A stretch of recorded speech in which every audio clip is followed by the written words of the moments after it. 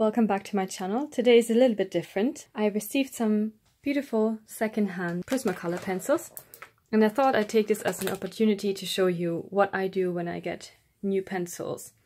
So how I color chart them to get a feeling of what kind of colors I have and how they work on the paper I have. Maybe you have noticed that depending on which color uh, paper you use, the colors will look different and sometimes it takes the pigment better.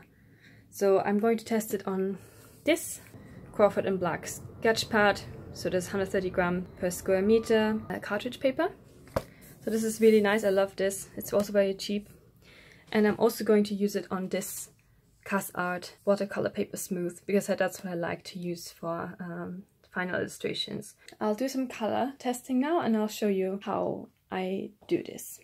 So I'm sitting at my desk now, sorry if it's a bit more wobbly. So the first thing I would probably do is to sharpen all the pencils have broken tips. I wonder if they maybe fell down or if it's just a Prismacolor thing because with my other Prismacolors I've experienced similar things that they just tend to break sometime.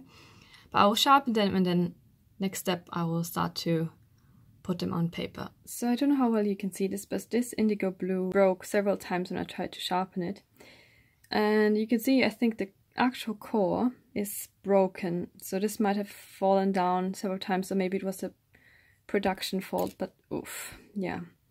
This is unfortunately quite damaged. So I'll try a different technique, see if that works, and I'll let you know how it goes. So, um, no, it didn't help. I tried to use um, the different diameter in the sharpener. Sometimes when you use the bigger one, it it just basically makes the tip shorter, which can help with such problems. But this, I think, is a completely fragmented core. It just came out just like this again. So all about this size. I mean, of course, you can still use it, but it's just a bit of a pain. I still will probably use it because I really love indigo.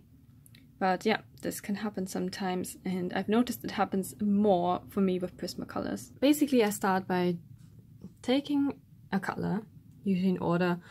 I try to sort them sometimes a little bit by color, but also sometimes by number. This time I wasn't so specific. And with white, sometimes I use a graphite pencil to just kind of help me to see this white.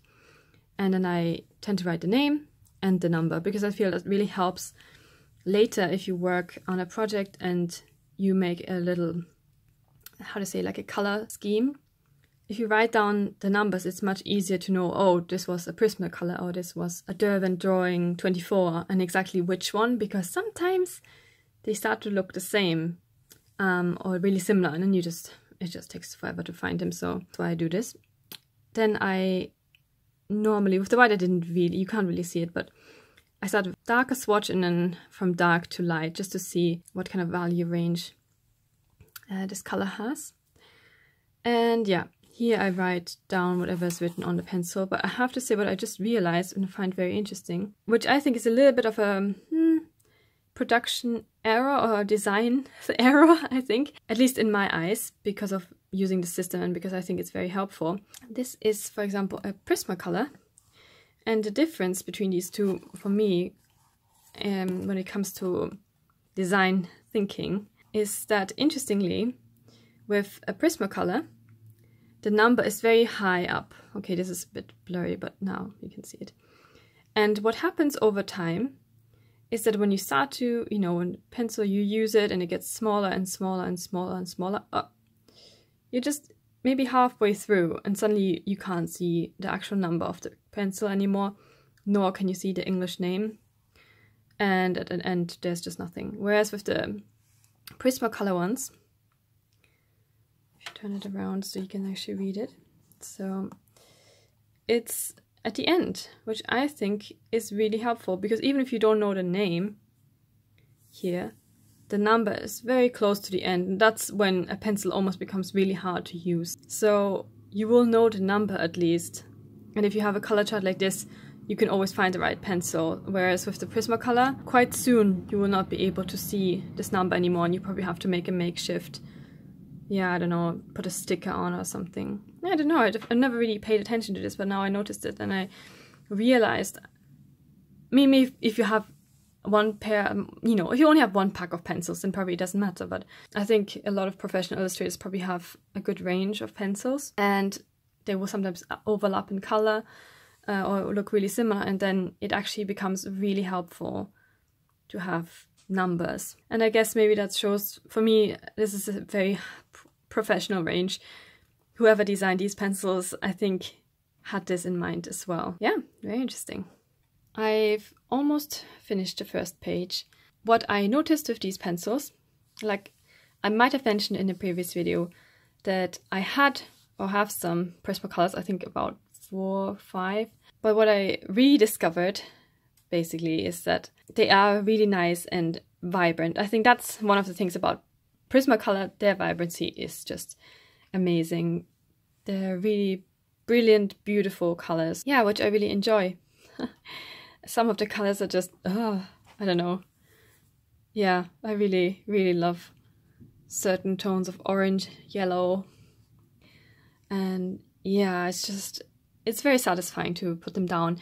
However, um, I noticed that some of the tips are a bit weak. So this could also indicate another internally broken core, which is a bit of a shame. But maybe it's also because they are very soft and I don't know. There might be actually a way to uh, fix them. I just don't know how. Might research that in the future. If you know how to fix a broken Prismacolor core, then let me know. Uh, yeah, so I'll continue now. I think I'm about here. Um, thinking maybe I should have used a bigger piece of paper. I have a bigger version of this um, same paper. But yeah, so let's continue. So, I've finished this color chart um, on this paper and I think I might leave it here. It's been already quite long, but anyways, I really happy with the coverage. It's very nice and creamy texture, which I guess can also um, smear easily, but yeah, it's not too bad actually. Very, very beautiful colors. Very happy. It's so much easier when you have these color charts to